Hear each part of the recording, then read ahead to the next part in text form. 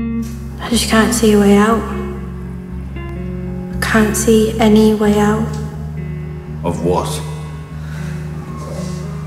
of being me.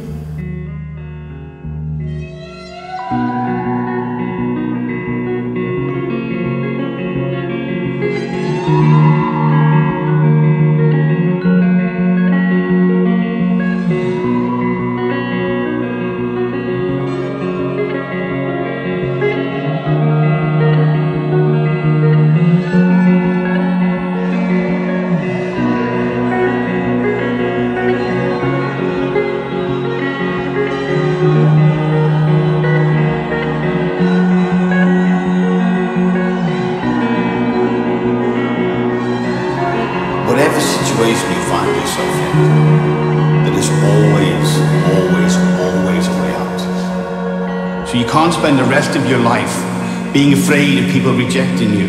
You have to start by not rejecting yourself.